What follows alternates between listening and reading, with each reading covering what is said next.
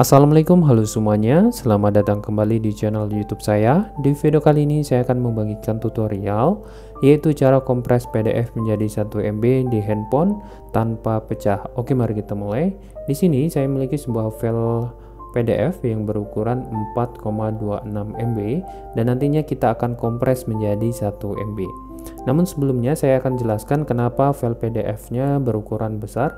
Biasanya ukuran besar diakibatkan adanya file gambar yaitu dengan kualitas tinggi pada file PDF sehingga file PDF-nya menjadi ukurannya lebih besar. Oke, untuk cara kompresnya menjadi 1 MB ataupun di bawahnya, caranya sangat mudah sekali. Kita tidak perlu menginstal aplikasi ke handphone kalian, kita gunakan website, yaitu silakan kalian yaitu buka aplikasi Google Chrome di handphone kalian. Kemudian silahkan kalian ketikkan di kolom pencarian Google yaitu PDF 42 kompres seperti ini ya.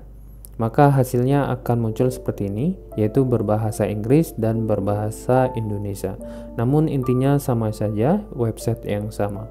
Di sini saya pilih yang berbahasa Inggris yaitu kompres PDF Selanjutnya langsung saja silahkan kalian pilih yaitu menu choose file kemudian kita pilih yaitu folder filenya kita cari yaitu uh, file PDF yang akan kita kompres ini dia filenya 4,26 MB silakan kalian pilih kemudian tunggu proses upload sampai selesai.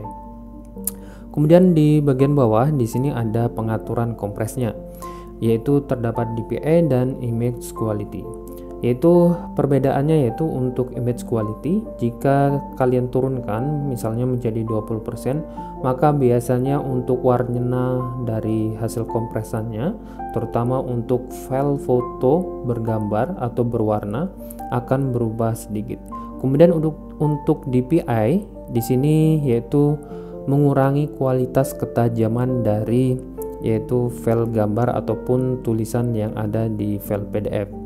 Di sini kita akan coba yaitu menggunakan settingan defaultnya. Silakan kalian pilih tombol kompres langsung. Kita tunggu. Di sini akan muncul yaitu estimasi yaitu e, berapa besaran kompresnya dan berapa filenya. Di sini menghasilkan 1,5 MB dengan settingan defaultnya kita inginkan yaitu 1 MB maka kita ubah saja misalnya untuk image quality-nya kita rubah di angka 40% kemudian DPI di sini saya sarankan yaitu jangan di angka 70 jadi kalian harus di atas 70 agar hasil kompresannya yaitu tajam.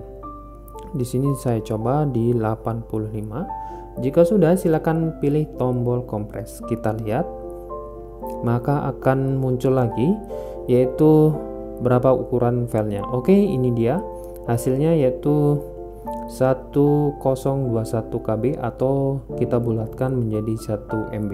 Jika sudah, silakan kalian download. Namun jika hasilnya kurang memuaskan atau masih di atas 1 MB, silahkan kalian kurangi yaitu image quality-nya saja.